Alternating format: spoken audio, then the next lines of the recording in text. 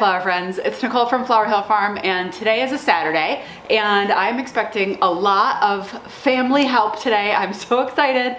I'm making soil blocks because my grandmother, my grandfather, my mother, and my sister are coming here today. Well, my mom I think is gonna stain. She has more cinder blocks to stain and also my construction crew put the bracing on the tables so there is some more wood that needs to be stained there. But I'm making the soil blocks here because my grandmother, my grandmother actually said, I wanna start seeds, so she's coming up too. I'm very excited. So I'm getting everything prepped. When they get here, all I have to do is label the tray, give them the seeds, and they can start it. And um, giving my grandparents the lupini seeds to start.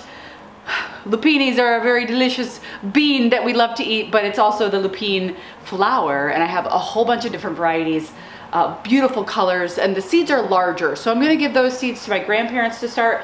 My sister loves to use the toothpick, so she's gonna be starting some lobelia and some petunias. Not sure what else we have here. Probably some more hollyhocks, and then, oh, some Dusty Miller. Dusty Miller for me is a little bit slow starting, especially, you know, when I'm growing it for my field in the flower farm at home, I'm okay with putting a little two inch plant in the ground. But when you're buying it at a nursery for six packs and stuff, you want a little bit more of a substantial plant. So I'm starting Dusty Miller from seed today for six packs. That door we moved in here so that it doesn't break. We have to return that door. That door does not fit where we want it to fit and it's a steel door, so cutting it down like you would a, a wood door to fit is just not happening. So hopefully nobody falls through that door today. Everyone's, this is like my seed starting station. I've got a bunch of chairs and we'll be hanging out today. I thought I'd bring you guys along. More germination on the seeds we started last week. I just checked them out. We've got, oh, my sister's gonna be starting pansies too, guys. Oh, let me, let me go over these. There is, I've got more from Baker Creek. Look at this purple Layetta, which is like a purple and white gorgeousness.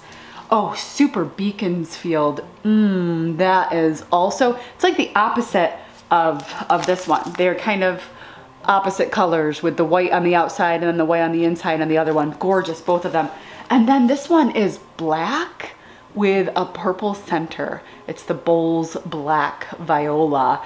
Uh, yeah, so my sister's starting these today. My free seed packet was the spoon tomato this time. Anyway, I had a little bit of a panic, and let me tell you why. You guys have seen me, um, you've seen me start some pansies, right? I probably started between five and 600, more closer to 600, but of course germination is not gonna be 100%. So I'm thinking to myself, okay, if I have a 600 pansies, it's 100 six packs. Oh, okay. Well, a lot of people are like, I buy pansies in flats. So that's like, whoa, that's not very many flats of pansies. So then I was like, okay, how many pansies do I actually need? And then this blue folder right here is full of the 2017 invoices from the previous owners, Nancy and Tara. well, they bought plugs for pansies and violas and I counted and they ordered to be delivered the week of March 27th 2,200 pansy and viola plugs.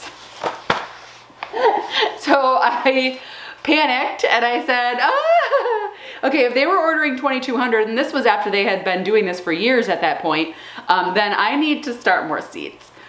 So I ordered more seeds and my sister started some last weekend and she's gonna be starting these. We also have a couple more packets of like the Helen Mount. Um, yeah, so we're basically starting seeds today. We're also, I'm gonna be potting up perennials. My dad's gonna stop by in the afternoon because I have um, an outlet that keeps tripping. Um, and it's an important one. It's my heat mats. I gotta keep that on, obviously, otherwise I'll have nothing germinating.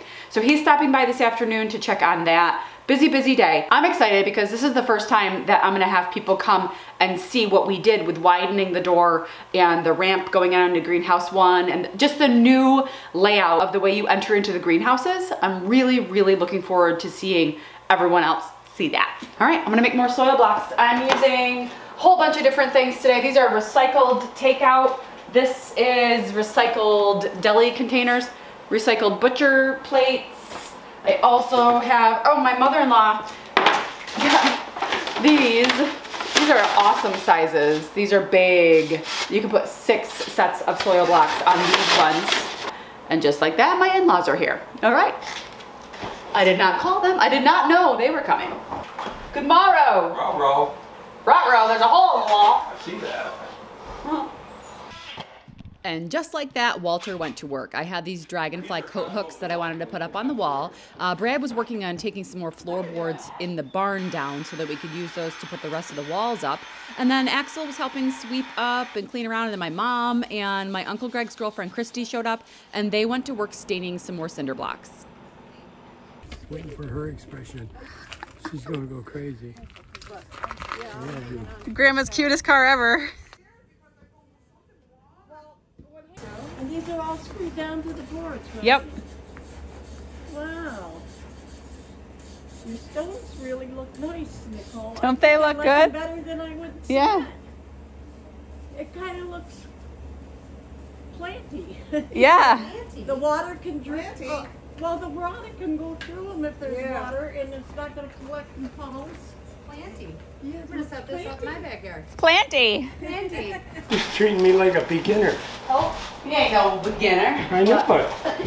Okay, so I was gonna have you do the lupinis. I'll The do lupinis. All right. They're pretty big. Oh, those are good. That's what I should bring up here, shouldn't I, Axel? I have apple cinnamon. You're paying for it. Boy, it's nice and warm in here. Okie doke. Is this light tool to use, or are you? You can. You can use you whatever it. you want. It's easier for you to pick it up with your fingers than with your fingers. Hollyhock, hollyhock. Hollyhock. I like Holly. She's okay. I'll take Holly any day. Um, I got some ginger ale. You guys want one? You know what? I I And could. regular water too. Yeah, I got um. I'll, I, I'll have one. paint the end of the wood. Some paint down there. Aunt Jan made this for Grandpa. We're gonna go surprise him with it. Look at there, look at there. We found this. They're so beautiful. found What this. Oh my God, where did that come from? What is this? Turn it around.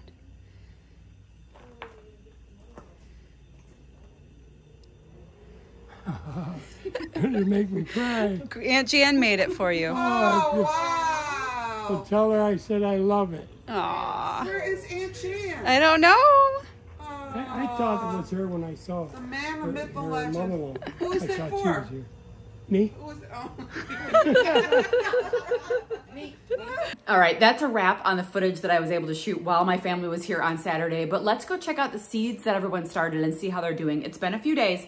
And then some seeds that Grandpa started the previous time that he was here. He did that tray of hollyhock a couple of weeks ago. Those are looking good. And all the pansies too. Let's go check them out. My um, germination area, I was a little bit afraid of um, how that was gonna be because it is a little bit colder here in the atrium and turn the lights on.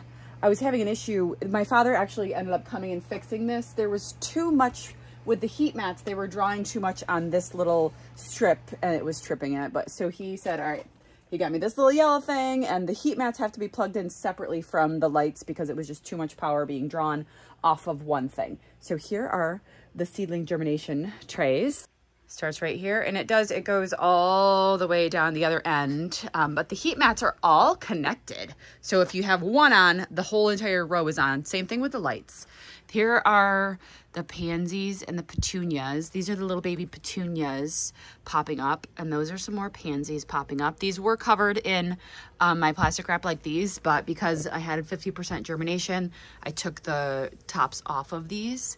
These ones are pansies pansies more pansies and more pan like i said guys after i read 2200 i went kind of crazy these are some uh, petunias, coral reef petunias. Um, we've got some ornamental peppers back here. Those are starting to pop. Can probably take that off soon. Some things are not popping yet. Oh, these are some of the lupinis that Grandma and Grandpa did. There's some lupines. There's some lupines. This is the hollyhock tray that Grandpa did the other day. I'm still getting some germination. Give that a couple more days. And uh, then I'll get that out into the greenhouse. There's more lupines. Let's see. Oh, I did start some artichokes too. I just started. Oh, it's, I see life. I see right there a little bit of an artichoke coming up. that's exciting. I thought I would start these a little earlier too. More lupines. Who's in here? Oh, we have germination on that. I don't know who it is. The Dusty Miller trays that Jessica did are starting to, I see some green in there, so that's exciting. All right, moving on down here. Let's see who we have. All right, I started some Gerber daisies from seed, guys. Those are the Gerber daisies that I started. I've never grown these from seed before. I'm really excited about those. I'll sell those in four or five and a half inch uh, trays, or pots, I mean. A little bit of germination on the lobelia, the petunias. Um, yeah, that's about it down here, guys. Everything else is starting to pop. This is petunias as well. I could probably take this off. Who are you? More pansies, more pansies. Anyway, lots of good stuff cooking in here. I'm really happy with the germination on most things. Uh, the pansies look great. I have a couple more trays of pansies at my house that I started too that I have to bring here. One other thing that we got done on Saturday, um, my father-in-law cleaned the atrium. There's a before and after picture that is like jarring to me because the atrium was just getting filled up and I love this space. The atrium was getting filled up with um, construction materials, wood that was was took down, just a lot of garbage. And we we don't have a dumpster or anything like that to take care of the garbage, so we have the dump trailer, and we were just loading the dump trailer while we could. But it's winter time here, and uh, we haven't been able to bring the dump trailer in and have a place to park. What my father-in-law did was basically take everything from the atrium move the garbage off to the side in the barn because the garbage needs to go. But then everything else, like the extra trays and pots and everything like that, he found a home for everything in the barn. That way, the atrium, the space where I'm going to be working, this is pretty open. Obviously, we only want to move that once. So that's going to go when the dump trailer's here. We're going to go right in, probably use uh, an appliance cart or something like that to move all that concrete. It's very heavy. But now it's a workable space. It's a usable space. This table is going to stay for now, but all of this concrete piping and all that stuff too, this is going to go and it's going to be transformed into a little bit more of a user-friendly space. So eventually this will be a table still, a working area, but it will be a different surface. All in good time, guys. There's also crazy amounts of draft coming in through that wall. I can actually see the outside in some spots. So once we take that wall down, not wall, but that table down, I'm gonna have to patch it all up with that orange stuff that we used in the other room and seal it up tight because I'm it feels like there's air conditioning blasting on me right now. Thank you again to my team. You guys are awesome. I have, I'm sitting on like four or five videos, guys, I'm editing to bring to you, but I'll give you a tiny, tiny sneak peek of what you guys will see in a video coming up. Here's just a tiny sneak peek. It's gonna be like a half second. Ready? Okay. My first large order from Jolly Farmer came and um, we're in the process of potting everything up, getting the hanging baskets ready, getting using the pot filler. I'm becoming a pretty, pretty professional pot filler user. It is such an insanely busy time right now. I'm trying my best to get up early and get the editing done so that I can share these with you guys so I don't build up all this back work for me. I have a video of unboxing all of my retail stuff. I have unboxing of my huge Jolly Farmer delivery. A video of us potting stuff up. Also planting at the hoop house. And I have a video of all the seeds I started for the farm so far. I'm hoping to get all of those out to you guys within the next week. I've set some time aside for editing and I know everyone says, let's just hire an editor. I'm strapped. I have zero dollars. I am negative, so I can't hire this stuff out. Um, and plus, I want my videos to be my voice. I don't want it to be anybody else's, and um, it's important to me to edit my own material. All right, guys, I'm gonna go get some more potting up done and maybe a little bit more editing so I can get all that stuff out to you guys. Very exciting things. I am so happy, and I think I'll go into this in another video, but I think my anxiety is lowering now that the plants are here because I can actually do now and, and monitor and watch and be in control of what is happening in the plant environment because that's my fear is that things are gonna die and there's gonna be disease and there's gonna be bugs. Um, so now that it's here, I feel less anxiety about it and I think that's a good thing. It's plant therapy. It actually is plant therapy. Anyway, guys, thanks for sticking around. My family is amazing. Love you guys. Bye. And a shout out to my mother-in-law who basically potted up most of the perennials.